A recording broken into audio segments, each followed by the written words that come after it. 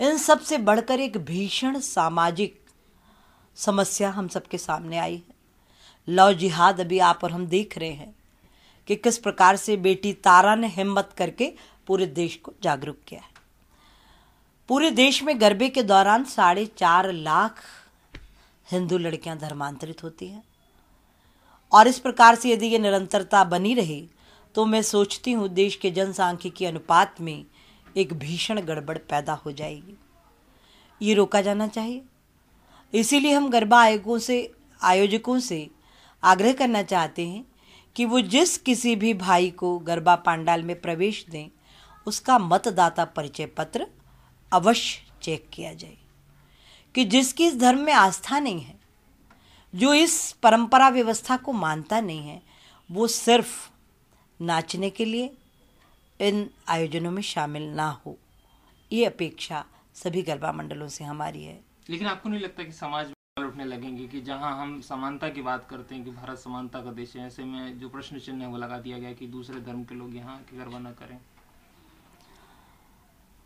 समानता पे ये कोई प्रश्न चिन्ह नहीं है। यदि उनकी आस्था है तो उनका स्वागत है। और इतनी आस्था है कि वो नौ दिन साधना करते हैं डेढ़ महीने अभ्यास करते हैं तो वो उस धर्म को प्राणपण से अंगीकार करें और गरबा करें। लव जिहाद को कितना पर, खतरनाक मानती हैं आप? कितना जो लव जिहाद राष्ट्र के लिए बहुत घातक है और समय रहते इसका नियंत्रित किया जाना भी नितान्त आवश्यक है। इसके लिए क्या एक एक केवल धर्म दोषी है केवल हिंदू मानती है? इसके लिए पक्ष दोनों ही दोषी हैं।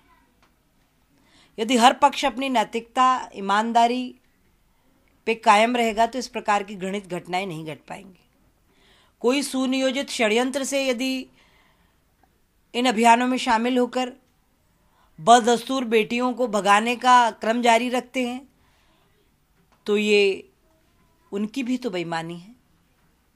बेटियों की नादानी है कि वो बिना सोचे समझे इस प्रकार शामिल हो जाए।